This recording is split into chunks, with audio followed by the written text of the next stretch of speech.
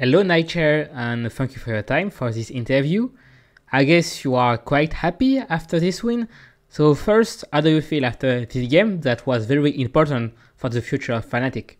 I mean, I'm happy, but we had really poor showing. So, we need to step it up for tomorrow.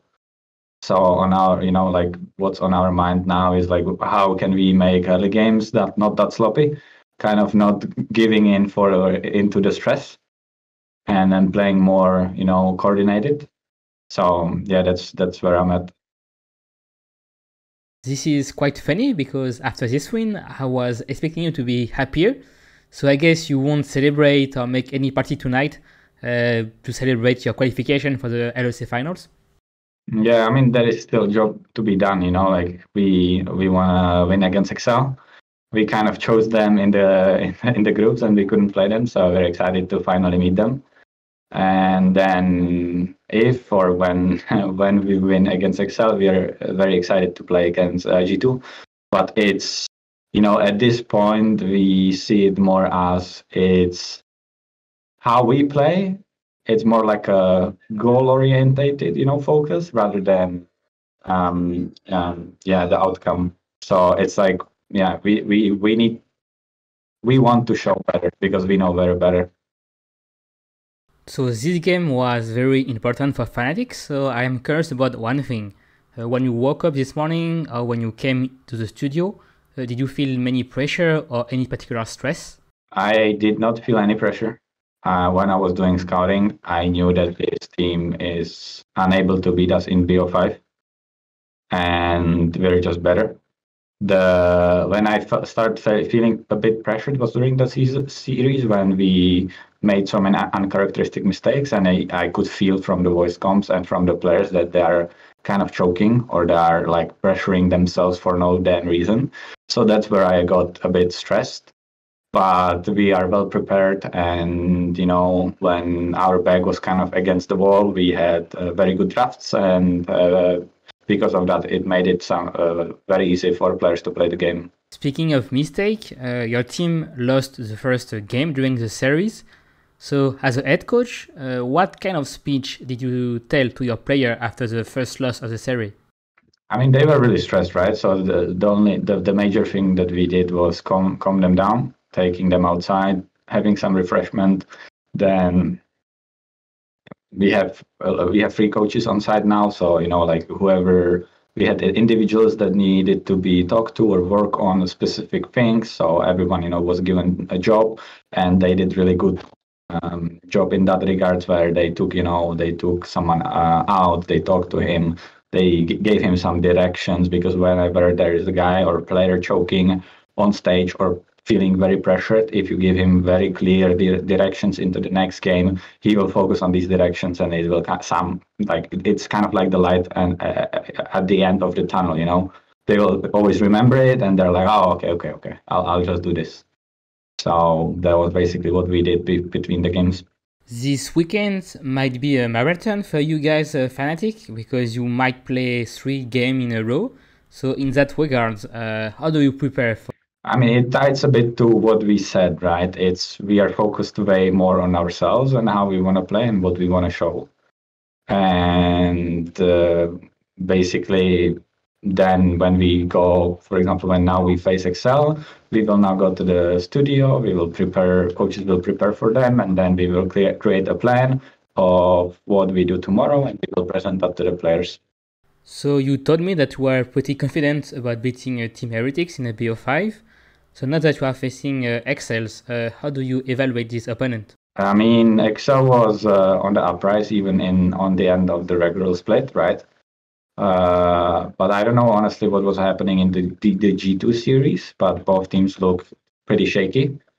And if they look still shaky or in a similar way how they played, then I think they are easy to beat. But we should we should be very careful because again I respect Excel a lot. I respect the coaching staff a lot, and I think they are very good team now, and then they can surprise. I don't know if you remember, but uh, we made together one interview a few months ago when you were in Fnatic. I remember, yeah. so we can say that you have come a long way since you arrived in the in the team. So, how do you evaluate so far your journey? Actually, very happy about the journey because when I joined Fnatic, I kind of gave or put everything into this, and I was kind of hoping, or the, my goal was to revive the Fnatic leg- legacy. And uh, my goal for first split was uh, achieving top six, and then for the next split achieving top three, and uh, we kind of achieved that now. So I'm very happy with you know uh, the work we put in uh, because everyone in Fnatic office, uh, including players, including staff, they're working nonstop. So I'm very happy with, you know, um, um, the journey basically and how we're improving and how we are advancing as a team. We know that fans can be sometimes harsh, but they also can be very passionate. So now that Fnatic is winning again, uh, do you feel the support from the fans and does it make your life uh, easier as a head coach? it for sure makes uh, our job easier. Uh, we honestly, or at least I don't pay that much attention to social media. But if there is any like a very funny or good meme, um, that usually gets to me through through players, or uh, I accidentally, you know, see it on, on a Twitter or something, and then it's really nice because uh, it you know it shows that the people are very creative, they care, and uh, they're very funny, and it always it always like shines up uh, makes my day better, you know, and, and then motivates me as well. So now Fnatic is on a good track uh, to qualify for World Championship. Uh, we know it means a lot for a player or for structures, but as a head coach, does it mean also a lot to you?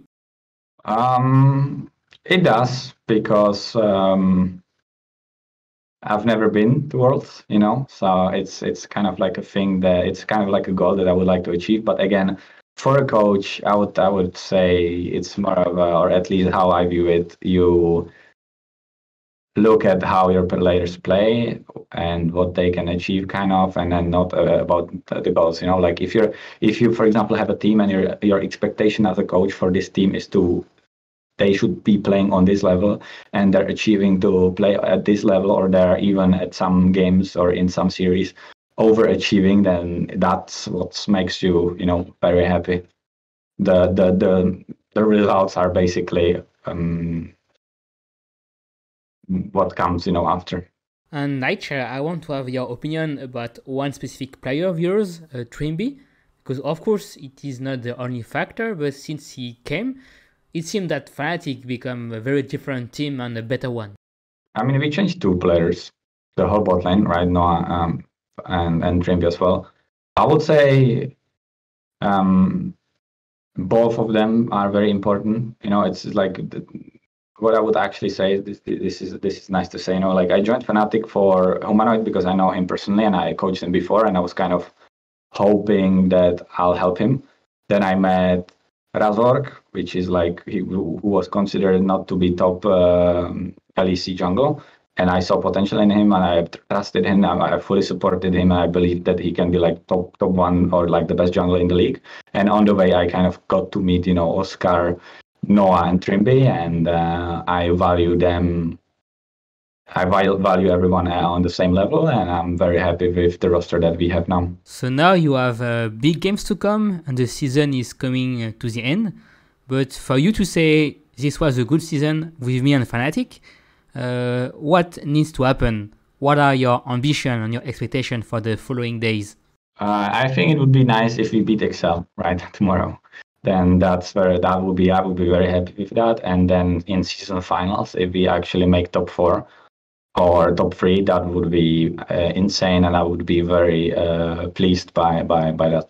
Thank you so much for your time, Nightshare. Good luck for tomorrow, and I hope to see you in Montpellier. Uh, thank you. Good luck. oh, bye bye. Good luck.